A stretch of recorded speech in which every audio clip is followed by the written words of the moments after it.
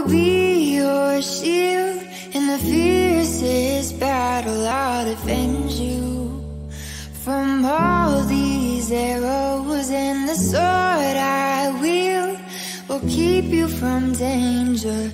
Let me be your shield. Yeah. Hey, what is up, you guys? It's your boy Rashaun here, coming at you again with another screen recorder video. All right, so for this uh, video right here, I want to show you uh, your boy looking kind of rough right now. I had a haircut in, in, a minute. I need to go get lined up. So uh, I'm going to show you guys uh, one of the few ways that you guys can uh, get uh, discounted uh, haircuts for those of you who might be struggling or might be poor or whatever, uh, and you don't want to spend 20, 25 bucks, you know, a week on getting your hair cut. You can actually go to a hair school right here.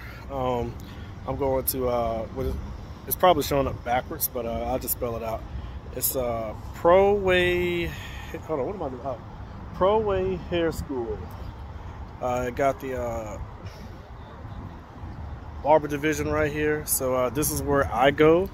And uh, I would recommend uh, you guys do this as well uh, find a hair school, invest in the uh, next generation of barbers and uh, hairstylists and so on and so forth. It's really, it's really important to form a relationship with these guys because uh, these are your future barbers, you know, so shit, you might, you might even get a discount. You never know, right? So, uh, yeah, we're going to go ahead and go in and uh, we're going to get this fixed up. So this is the before, then I'll come back with the after.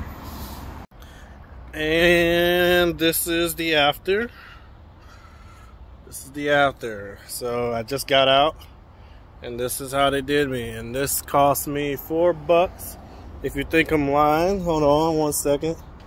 Let me find the uh, sign to show you guys. One second. All right, so they took that sign down where it says $4 cuts, but if you look here on this receipt, you see where it says Pro Way Hair School. It's a little blurry, but uh, here we go. Pro Way Hair School. And then it's a debit card sale.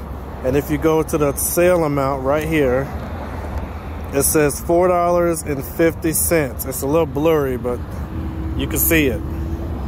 $4.50. It's a 50 cent upcharge simply because it was, uh, you know, uh, I use a debit card, so they do a 50 cent upcharge. So a little less than $5, but it's usually $4 cash if you got that. Now, uh, I'm about to go to Church's Chicken. All right, see you guys later.